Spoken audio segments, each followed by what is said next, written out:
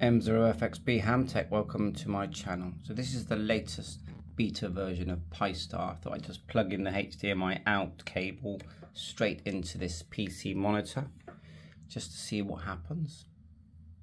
And yes, it, it can run M17 and it's been upgraded to be able to run some of the newer versions of, of Raspberry.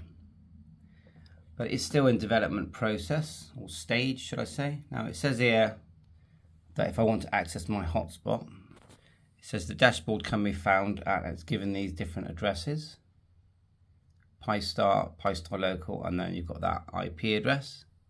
But also, we've given, it says here, Pi with onboard Wi-Fi. You can connect to either the Pi-Star or Pi-Star setup access point, and it's given a different IP address. So I'm going to try that address and see what happens.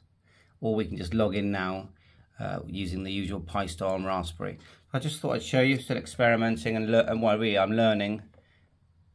So let's see what happens. Yeah, those addresses are taking me to the, the Pi-Star dashboard that you, you would expect. Sorry about the notifications. Let's log in. To use a keyboard, I just plug in an extra an extra connector to the micro, mini micro USB adapter, as you can see, and then goes to my keyboard, just a Dell keyboard. It's interesting watching it boot up, you get all this information.